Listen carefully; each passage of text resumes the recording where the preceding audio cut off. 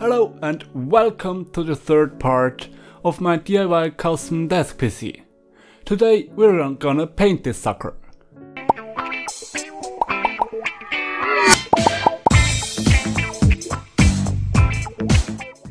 So first of all I wanna thank you guys all for hitting the subscribe button. The support in the last couple of days and weeks has been really amazing and we surpassed 500 subscribers on this channel recently, which I'm eternally grateful for you. I didn't expect this to happen that soon. Um, at the moment we are already at like 525, which is just amazing. Thank you for that. But now let's get started with the actual building process. So if you haven't watched the last parts, you can check them out up here just pause this video, watch the other parts, and then come back here. It's gonna make a whole lot more sense. So we're gonna take off right where we left the last time. We had everything nicely assembled and to test fit everything, but now we're gonna take it back apart again to make the holes and paint the thing. So I started off making some various holes here and there for like feeding cables through the desk or other stuff like that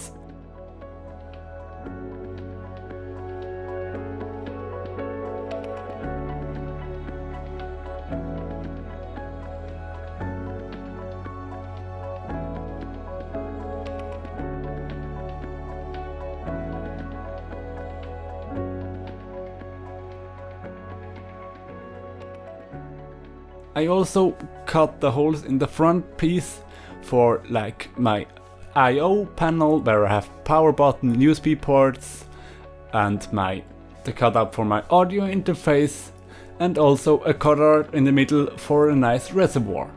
It's gonna look really nice with the black front panel and the reservoir with the orange liquid in it and some LEDs shining through.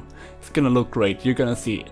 And then I also started planning out where the components go into PC boxes and drilling the mounting holes and holes for cable management. Doing this is really easy with this material as it's just 10mm MDF which you can drill through, use a jigsaw, some rasp and files and you get a really nice hole.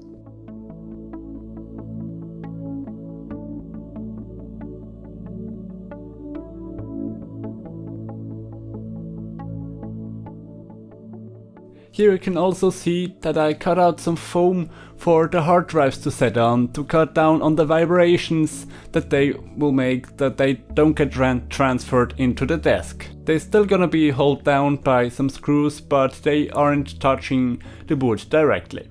Then after all the holes were cut, I took some 240 grit sandpaper and went over everything to get out all the scratches and the imperfections to make it ready for painting. Before painting I also cleaned all the panels so there is no dust on them which can interfere with the paint and so I get a really nice adhesion and a nice surface. I also gave the whole room a bit of a clean because had accumulated quite a bit of dust on all the surfaces which could fly in the room while I'm painting which isn't that good. Like I already told you in the last parts, the paint I'm using is black spray paint, which is really easy to work with and looks decent.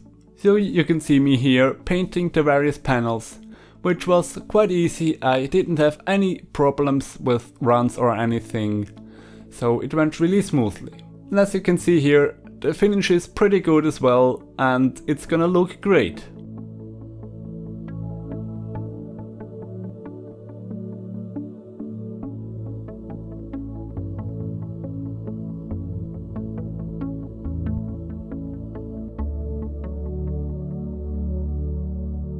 And now that I have cut all the holes I need and painted everything, I can assemble the whole thing again to make the final parts. The main thing that is left now are the reclaimed wood finishes on the sides and on the top and also of course the computer building and some various pieces here and there. But that I will do in a further episode and that's it for this one. If you liked it, please leave a like down below and also subscribe to don't miss any of the further parts. If you want some more frequent updates and more behind the scenes, you can check out the forum links down below where I post my work log actively. And I also have Twitter and Instagram handles down there where I post some more behind the scenes and other fun stuff. So thanks for watching and until next time.